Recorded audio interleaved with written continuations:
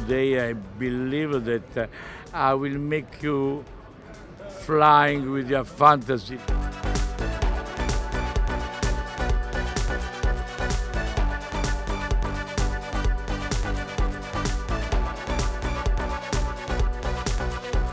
One woman, beautiful, sexy, special, but one woman that she loved to be like that because she decided to be beautiful just to, to transmit her beauty to, and energy to the other people.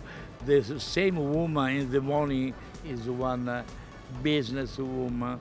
She doesn't care about herself, but in the night she become Cavalli woman.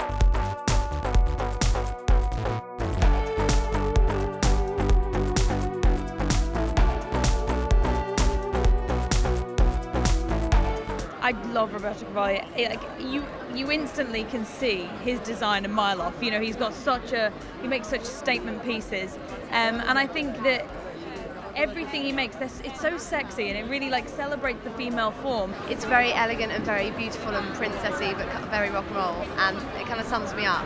Um, so I, I've been wearing his stuff by default the past few months.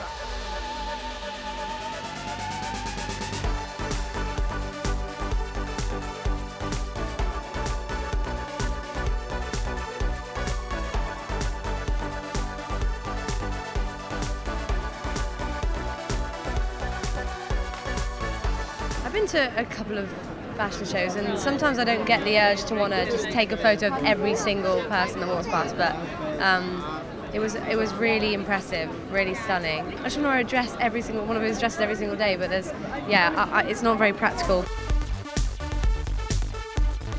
My philosophy is that if you're sexy, you will be the queen of the world.